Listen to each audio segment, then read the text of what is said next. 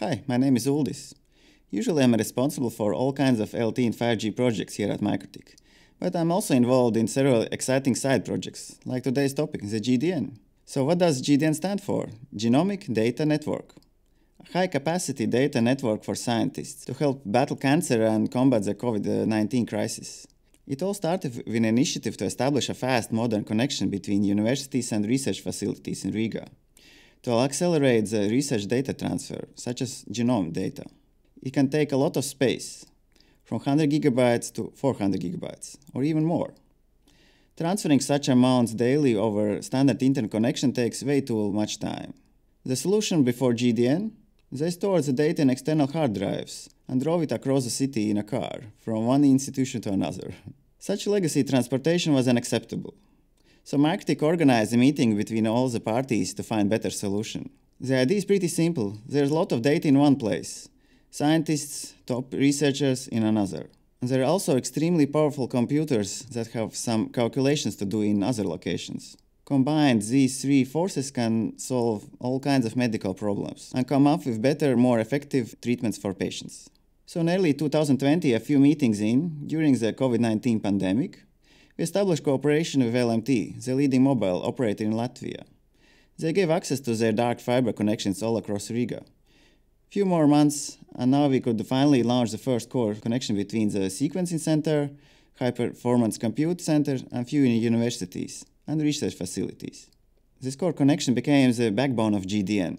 A working group was established to manage the governance and future expansion of GDN.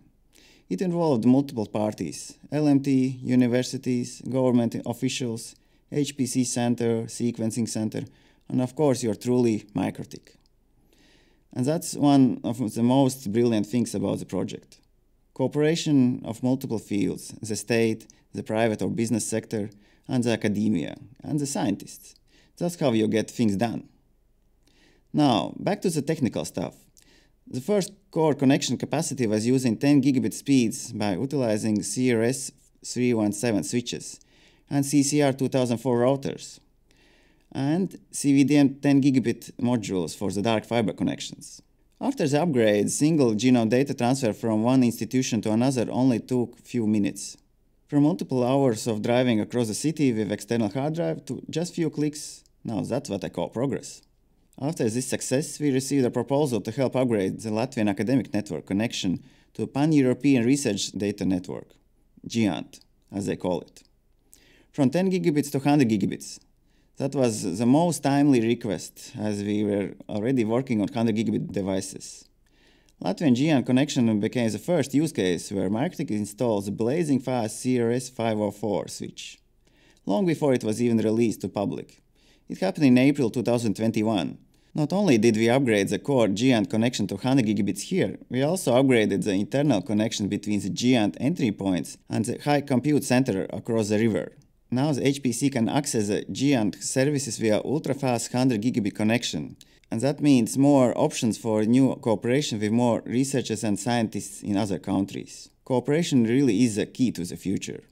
And that accelerated development of more 100 gig solutions Seeing potential use case in real life inspires the whole team. We then started working on CRS 518 switch to upgrade those 10 gigabit connection of Latvian academic network to 100 gig without disturbing the current connectivity. How? With help of our CWDM technology that allowed adding additional 4 times 25 gigabit connection between the institutions. And we have no plans to stop. More 100 gigabit solutions are coming soon, but that's topic for another video. Stay tuned.